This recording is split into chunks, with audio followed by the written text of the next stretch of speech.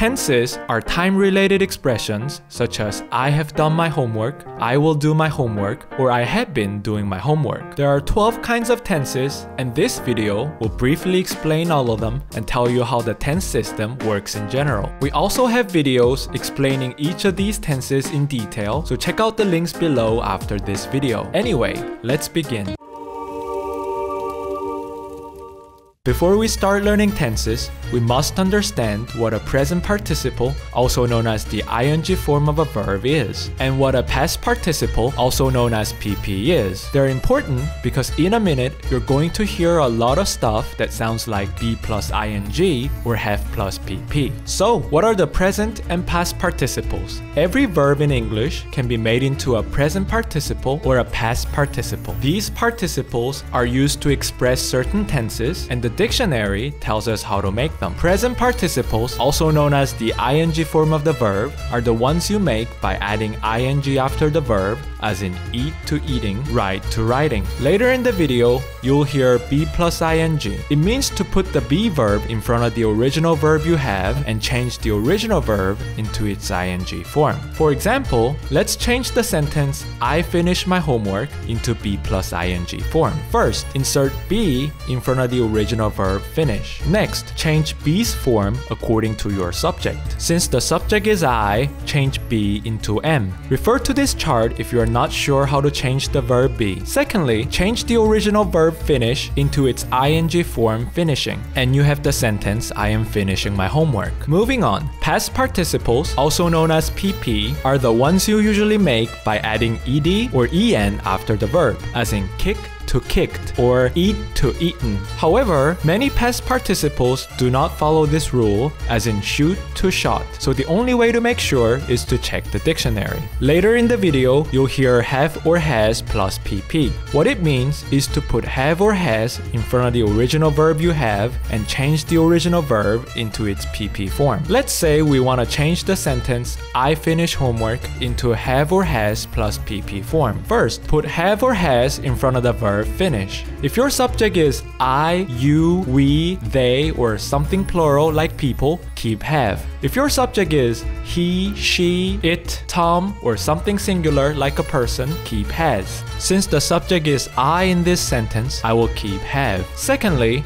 change the original verb finish into its PP form finished, and we're done. I'll explain more about participles later in this video, but for now, this will be enough to start learning tenses. Because tenses are such a difficult topic, I'll explain it two times. One time focusing on each tense's meaning, and the other time focusing on each tense's form. Let's begin. Tenses are created by using the following four pieces of meaning in the past, present, and future time zone. Let's look at each of the pieces. The first piece is called the simple tense. It means something happens and there's nothing special about it. If something happened in the past and there's nothing special about it, it is called the simple past tense. If something happens in the present and there's nothing special about it, it is called the simple present tense. If something happens in the future and there's nothing special about it, it is called the simple future tense. The second piece of meaning is called the perfect tense. It means that an action happens before another action. If in the past an action happened before another action, it is called the past perfect tense. If in the future an action happens before another action, it is called the future perfect tense. The present perfect tense is a bit special, so I'll deal with it later. Anyway, you get the idea. Moving on, the third piece of meaning is called the continuous tense. This tense is also called the progressive tense. It means that an action is ongoing, unfinished at a given point in time. So, for instance, if an action was ongoing, unfinished at a past point in time, it is called the past continuous tense. The same applies to the present and future. The last piece of meaning is called the perfect continuous tense. It means that an action starts before another action and continues until that other action happens. If in the past an action happens before another action and continues until that other action happens, it is past perfect continuous tense. The same applies to the present and future. Now, there are 12 tenses in total because each of the past, present, future time zone has all the four pieces of meaning available. Don't worry if this sounds too difficult because now I'm gonna explain each of these tenses in more detail. Out of the three time zones, let's start with the past time zone. If something happened at a past point in time and there's nothing special about it, use the past form of verbs as in I ate an apple. This tense is called the simple past tense. Next, if you're talking about something that was ongoing, unfinished at a past point in time, put was or were in the ing form of a verb. For example, I was eating an apple at 3 p.m. This tense is called the past continuous tense. Moving on, if you're talking about a past action that happened before another past action, put had in the PP form of a verb. Take for example, we had eaten an apple before Jason came home with some food. In this case, Jason's coming home with some food is a past action and the apple eating happened before that past action. This tense is called the past perfect tense. Next, if you're talking about a past action that started happening before another past action and continued up to the other past action, put had been in the ing form of a verb. For instance, we have been eating an apple when Jason came home with some food. In this case, Jason's coming home with some food is a past action and the apple eating started before that action and continued until that action. This tense is called the past perfect continuous tense. Now, let's move on to the tenses in the present time zone. If something happens in the present and there's nothing special about it, leave the verb in its present form as in he eats an apple. This tense is called the simple present tense. You also use the simple present tense when there's no point in choosing a tense. There's no point in choosing a tense if something held true in the past holds true now and will always hold true in the future. For instance, some scientific truths, such as water boiling at 100 degrees Celsius, were always true in the past, are true now, and will always be true in the future. In such cases, there's no point in choosing a tense, so use the simple present tense as in water boils at 100 degrees Celsius. Another instance is someone's habit. Habits are what someone frequently did in the past, does now, and will frequently do in the future. So in such cases, use the simple present tense as in he bites its fingernails. One more instance is the permanent conditions of someone or something. For instance, the human race in general had four limbs in the past, has four limbs now, and will always have four limbs in the future. Hence, use the simple present tense to say the human race has four limbs. For more information, check out the video on the simple present tense. To move on, if you're talking about something that is ongoing, unfinished at the present moment, put am or is or are and add the ing form of a verb, as in I am eating an apple. This tense is called the present continuous tense. Moving on, if something that happened in the past still has relevance in the present moment, put has or have and the PP form of a verb, as in I have lost my wallet. This tense is called the present perfect tense. What does having relevance in the present moment mean exactly? Usually, it means the following situations. First, when an action started in the past and continued up to the present moment. In that case, the present perfect tense is usually followed by phrases such as since plus time or for plus duration. For instance, if you say, I have lived in LA since 1980, you mean you started living in LA in 1980 and continue to live there until now. If you say, I have been a soldier for 10 years, it means you became a soldier 10 years ago and did not change your job ever since. Secondly, a past action is still relevant in the present if the result of the action still holds true now. For instance, if you say, I have lost my wallet, you mean that you lost your wallet in the past and still don't have it now. In addition, if someone asks you where Amy is and you say Amy has gone to Brazil, you mean Amy went to Brazil and she's still in Brazil now. There are more to the present perfect tense, so please check out the video on that tense. Next, when something started in the past and continued up to the present moment, put have or has been and add the ing form of a verb, as in I have been studying German for 5 years. This tense is called the present perfect continuous tense. Now, let's talk about the the future category. If something is going to happen in the future and there's nothing special about it, use the simple future tense. There are a number of ways to express the simple future tense. Basically, if you use the simple present tense with any word that points to a future time, it is the simple future tense. Let me show you the most frequent ways to express the simple future tense. The first way is to put will and put a verb in its base form, as in I will go to school. The second way is to have be going to and put a verb in its base form. An example will be I am going to go to school. Remember, the word be needs to change its form depending on the subject. The third way is to just use the simple present tense with some words pointing at a future time. For example, the plane arrives at 5:30 tomorrow. The verb arrives is in the simple present tense, but since the word tomorrow tomorrow points to a future time, this is a perfectly fine simple future tense. There are many other ways, so please check out the video on the simple future tense. Moving on, if something will be ongoing, unfinished at a future point in time, put will be and add ing form of a verb, as in I will be eating an apple for dinner tomorrow. This tense is called the future continuous tense. Next, if you are talking about a future action that'll happen before another future action, put will have and add a verb in its PP form. For instance, I will have reached 40 before my daughter graduates. This tense is called the future perfect tense. Lastly, if you're talking about a future action that started happening before another future action and continued until the other future action, put will have been and the ing form of a verb. An example sentence will be I will have been studying German for 10 years by the time I graduate. This tense is called the future perfect continuous tense. Alright, that's everything for the meaning of 12 tenses. Now, let's talk more about the forms of 12 tenses.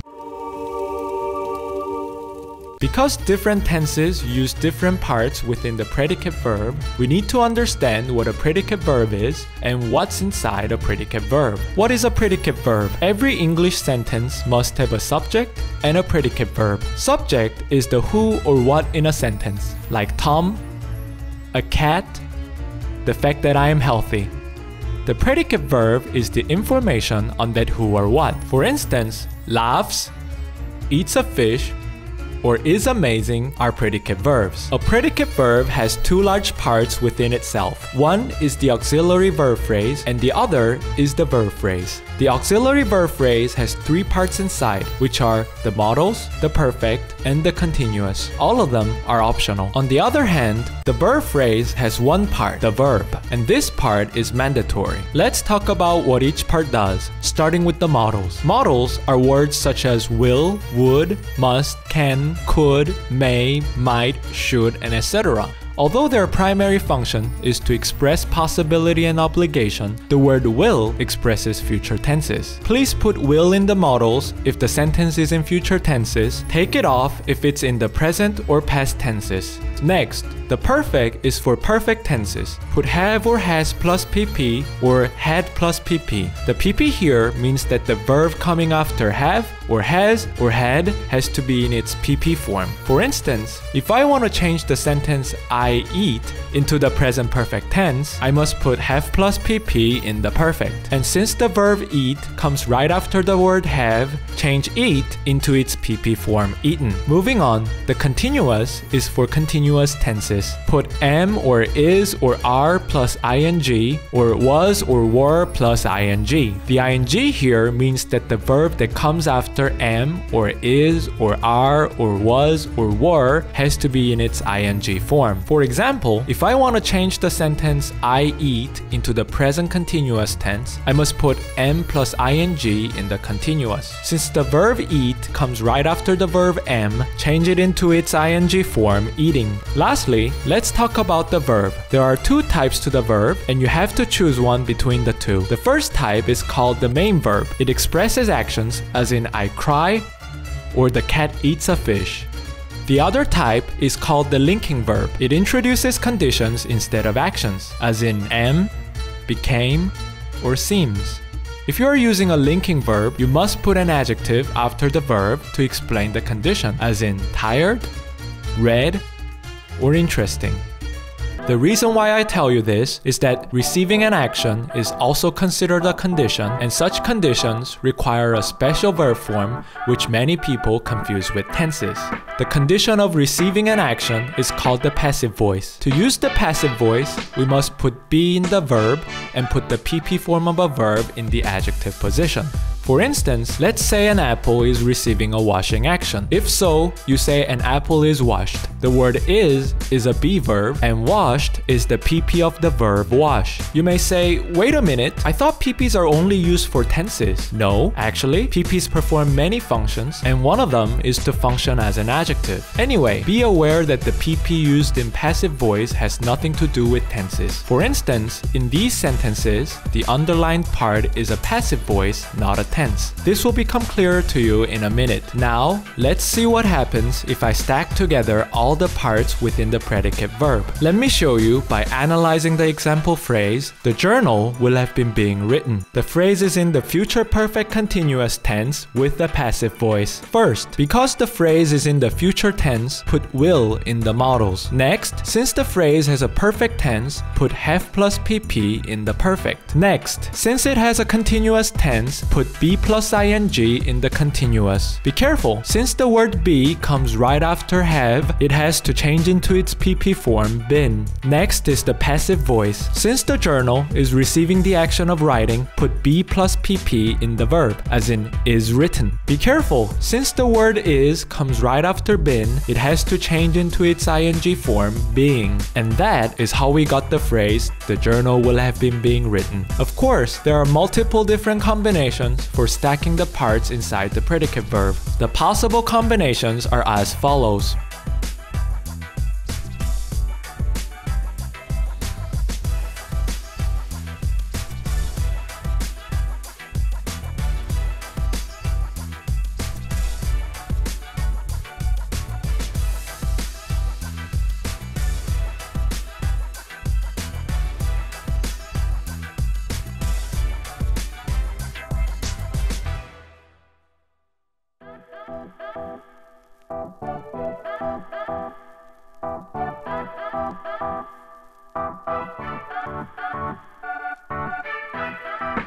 Okay, now we're at the last part of this chapter, and this part is very important. You only mark the present or past form one time for an entire predicate verb, and you mark it on the first element of the predicate verb. The rest of the elements are in either the present form or participle forms. Here's what I mean. Take the example phrase, the journal will have been being written. The first element of the predicate verb is will, so here you have the option to choose either to put the present form will or the past form form would. The rest of the parts must always be in either the present form or participles. Have is in the present form. Been is a past participle. Being is a present participle. And written is not a part of the predicate verb, it is a passive voice. In this sentence, if you put anything other than the word will in the past form, it'll be wrong. For instance, if you say the journal will have been being written, it is wrong. You may ask, what about past tenses? Don't they have a lot of past forms? No, no, if you look at them closely, all of them follow the rules I just told you.